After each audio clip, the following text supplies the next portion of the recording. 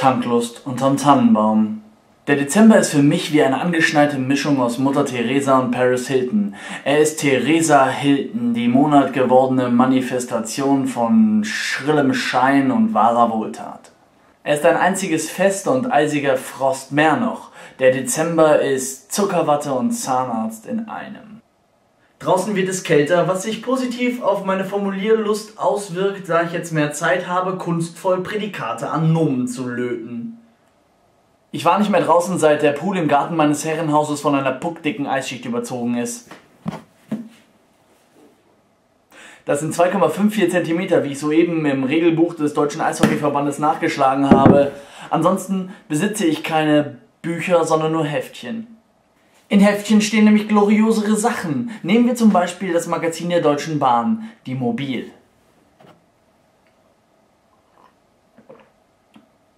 Da stand neulich in einem Bericht über Uhrmacher der folgende Satz. Die Dings und Dongs sind eine Freude für den Benutzer, aber eine Qual für jeden Uhrmacher. Die Repetition ist für ihn das, was der Mount Everest für einen Bergsteiger bedeutet, der schmerzhafte Gipfel der Gefühle. Ich bin mir sicher, wenn man einen solchen Satz in ein Romanmanuskript schreibt und das Ganze an einen Verlag schickt, erfüllt man damit den Tatbestand des versuchten Lektorenmordes. Ich höre schon die zynischen Dings und Dongs der Glocken in der Friedhofskapelle. Während sich draußen die Totengräber am hartgefrorenen Dezemberboden abmühen. Nach Feierabend würden sie nichts lieber tun, als zum Farbausgleich mal die Kirmes zu besuchen, aber die ist witterungsbedingt natürlich geschlossen. Weil jedoch die Straßen so glatt sind, rutschen sie alternativ einfach auf dem Blitzeis mit ihrem Leichenwagen ganz langsam in einen Twingo. Es ist das witterungsbedingte Zwingo-Rutschen der Leichenwagen, das dem Dezember seinen spröden Reiz verleiht und ihn zum schmerzhaften Gipfel der Gefühle macht. Aua. Noch schöner ist die Vorstellung, dass man ein Feuerwehrauto auf Blitzeis ganz langsam in ein brennendes Streufahrzeug rutschen sieht. Die allerschönste Vorstellung von allen bleibt jedoch, dass man einen Pantomimen sieht, der den Leuten auf der Straße alles nachmacht. Dann kommt ein zweiter Pantomime, der genau das gleiche macht und plötzlich bleiben sie voreinander stehen, sind dazu gezwungen, in Ewigkeit ihre Bewegungen gegenseitig nachzumachen und nachzumachen und nachzumachen, wie sie sich nachmachen. Sie geraten dann in eine Art Loop, den sogenannten Pantoloop. Vielleicht kann mir jemand mal einen Leserbrief schreiben und mir erklären, warum Pantomimen immer schwarz-weiß gestreift sein müssen. Ich verstehe es nicht. Was ist der Plan jener teuflischen Recken, dass sie sich für die heimlichen Zebras der Kleinkünstler ausgeben müssen? Verstehe ich nicht. Die folgende Überleitung ist schlecht, aber das ist künstlerische Freiheit. Schwarz auf weiß fand ich auch die folgende Schlagzeile in der Marburger Neuen Zeitung. Spritpreis bremst Tanklust. Also erstmal klingt das ja ganz normal, aber was ist denn bitte Tanklust? Wie habe ich mir das vorzustellen? Ein Ehepaar ist mit dem Auto unterwegs und plötzlich sagt der Mann, du Monika, wir haben zwar noch einen ziemlich vollen Tank, aber ich glaube, ich fahre jetzt mal an die Tankstelle. Ah ja, aber warum denn, Eckart? Na, ich habe so Tanklust.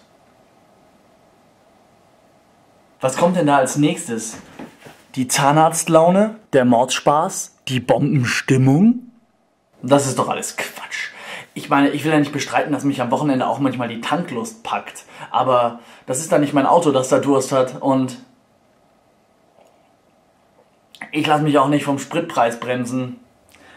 Das Fatale an einem Kneipenbesuch ist ja, dass mit jedem Bier die Bedenken, ein weiteres zu trinken, in demselben Maß zunehmen wie die Betrunkenheit, die einen dazu bringt, diese Bedenken auszublenden. Das ist auch so eine Art Pantoloop.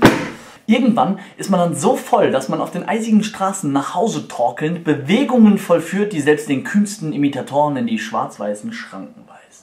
Beschämt verstecken sich die Pantomimen auf den Zebrastreifen der Stadt und warten ab, bis im Frühling die ersten Dings und Dongs der Osterglocken zu hören sind und die ersten Twingos sprießen. Überhaupt, wenn wir das finstere Tal durchwandelt haben und uns an Plätzchen und Braten getröstet haben, Psalm 23, und im Frühling mal was ganz Exotisches erleben wollen, dann empfehle ich das Freilichtmuseum Bad Sobernheim. Dort wirbt man damit, dass man hautnah seltene Haustierrassen erleben kann. Wirklich entzückend ist die dann folgende Auflistung der dort vorhandenen seltenen Haustierrassen. Ziegen, Schafe, Rinder, Pferde, Hunde und Geflügel. Die Macher dieser Werbung leben bestimmt exotischerweise in Häusern und wenn sie mal ganz crazy drauf sind, dann fahren sie Fahrrad. Abends sitzen sie beim Abendessen oder schauen sogar fern, diese Verrückten. Über ihrem Bett hängt ein Poster von Theresa Hilton und im Dezember sagen sie so denkwürdige Sachen wie ist kalt draußen oder ich mag Plätzchen.